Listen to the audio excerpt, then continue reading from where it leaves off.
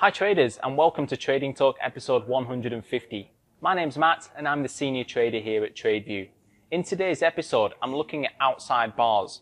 I'm actually going to be showing you how to be able to use X-Scope, which is our patent pending technology, to be able to build and develop and automate an outside bar in less than two seconds.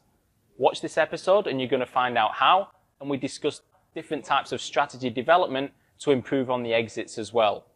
Want to give you an update on a few upcoming events as well. We've got the International Trading Competition, which has been running live since February. If you check into the, um, the website right now and you look at the leaderboard, you'll see some new names at the top. In fact, Monica W., who's been killing it all year, is no longer there.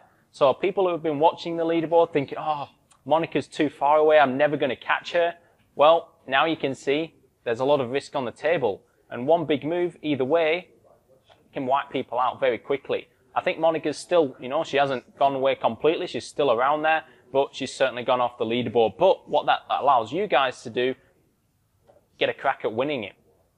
Get involved, get involved with the sprint, get involved with the marathon. There's still plenty of time to come and plenty of time to go until the end of the competition, which wraps up October the 30th this year.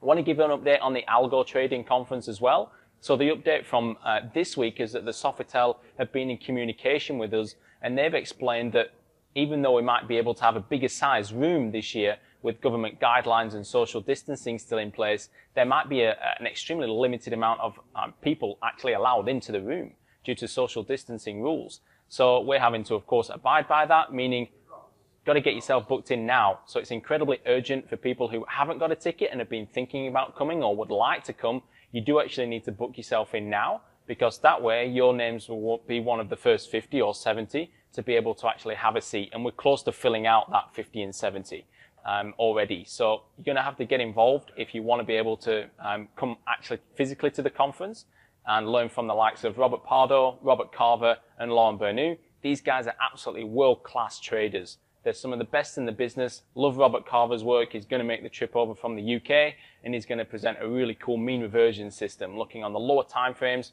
but then referencing medium time frame momentum. Find out more about it at algotradingconference.com.